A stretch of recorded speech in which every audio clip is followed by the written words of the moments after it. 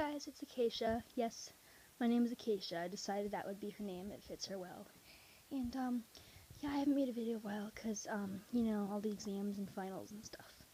But anyways, I'm back, and here's my dog, and, um, I'm just gonna put my earrings on. So, I got these earrings at Goodwill for 50 cents, so I thought they were really cute for Webkinz. They wouldn't really look that great on me, but you know, whenever there's big earrings, there's Webkinz for them too. So I'm going to put these on her since she has like a little bit of pinkish red in there. I think these would look good. Yeah. So yep. Let me open the package. They're so cute. Okay, I'm going to put these on her. Hold on. Oh god, she looks so cute with these on. Oh my gosh.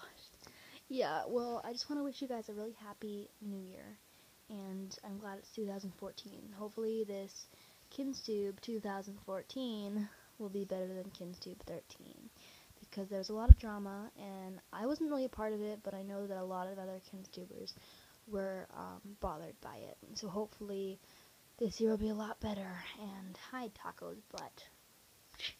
okay, well, thanks you guys so much for watching, and I love you.